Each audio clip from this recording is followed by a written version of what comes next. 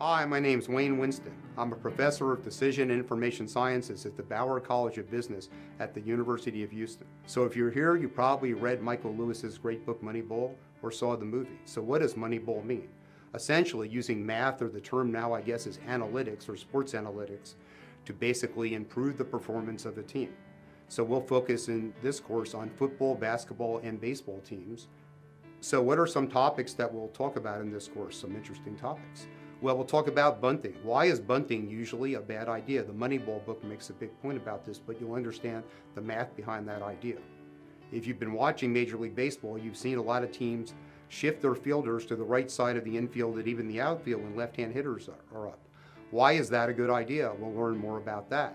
You probably have heard a lot of pundits say NFL coaches are too conservative. They field goal too often and don't go for it enough on fourth down.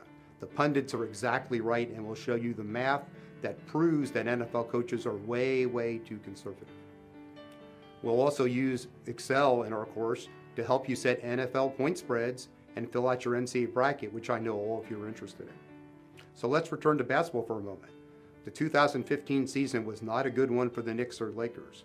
So you might think it's because they couldn't shoot very well. To be honest, it's because they had horrible shot selection.